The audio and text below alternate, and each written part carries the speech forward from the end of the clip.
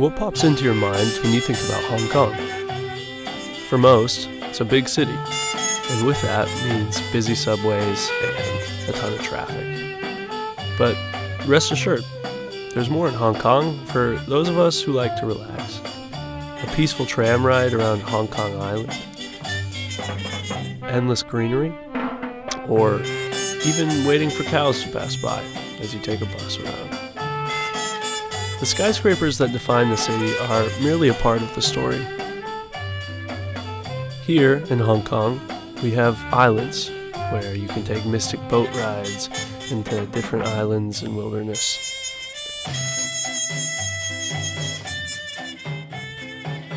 You can take a paddleboard for a casual day out. Even a stroll on the beach with your best friend. The city's not all about glamour lights at the Victoria Harbour, although that is attractive. It's about dancing with your favorite, listening to the waves hitting the shore.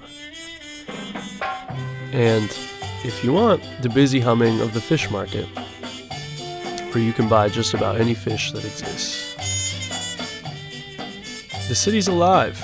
It's filled with people of all walks of life fishermen who enjoy the view of the beautiful city or gamblers admiring the elegance of the Derby and horse racing.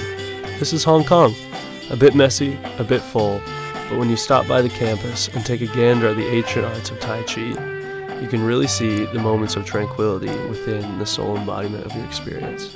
Experience the bustling city, enjoy the moments of tranquility.